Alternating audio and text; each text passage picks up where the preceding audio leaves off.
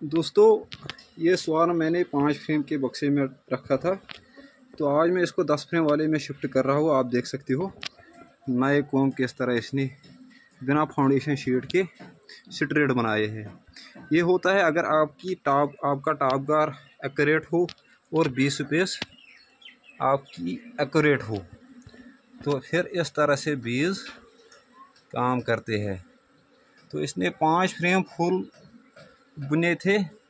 आज मैं इसको और एक फ्रेम भी दे रहा हूँ।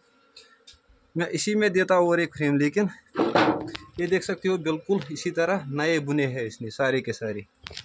इसमें था ये। तो जब भी आप बक्से की लोकेशन चेंज करोगे मतलब बक्सा चेंज करोगे, सॉरी, यहाँ पे ये पुराना बक्सा था, वहीं पे मैंने नया रख दिया है। तो इसके बाद हम सेटअप बाय सेटअप फ्रेम उसको उठाएँगे। और इसमें डालेंगे। तो ये देख सकते हो दोस्तों। और एक भी फ्रेम दिया है खाली। तो ये अब बड़े बक्से में शिफ्ट हो रहा है। ये है इसकी ग्रोथ। ये।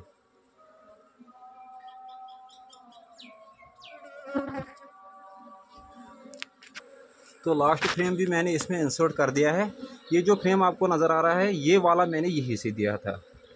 तो दोस्तों, हम क्या करते हैं, नए स्वार्म को एक ब्रूड फ्रेम देते हैं। ये है इसी पुराना ही ये वाला फ्रेम बाकी चार फ्रेम इसने फुल अपने रेज किए थे, नए कोम्स तो फ़िलहाल पाँच इसने, ये पाँच फ्रेम वाला न्यूक्लियस बक्सा है। इसमें मैंने डाल दिया था इसको।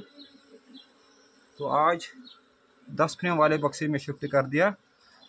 तो इस वाले में मुझे, मैंने अभी भी एक नया स्वार्म कैच करके रखा है तो वो मैं इसमें डालूँगा। तो दोस्तों, तीन के मेरा कंप्लीट जल्दी से करो। तो thanks for your support thanks for watching my videos तो मिलते हैं किसी नेक्स्ट वीडियो में। ये जो बीज इसमें है, ये खुद ब खुद इसमें जाएँगे। अगर ऐसा नहीं तो ये उल्टा के हम फ्रंट पे रख देंगे। तो जो इसमें बेबीज़ होगी वो खुद ब खुद इसमें जाएगी। Thank you for watching